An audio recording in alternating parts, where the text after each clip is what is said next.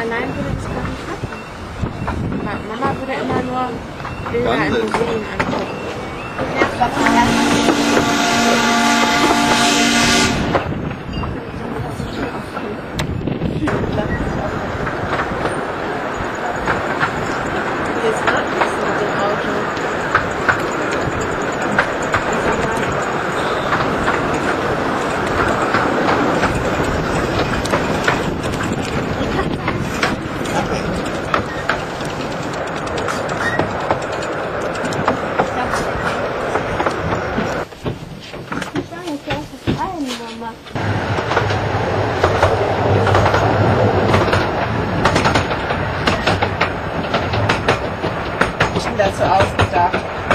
Freundlichen Eisenbahnflucht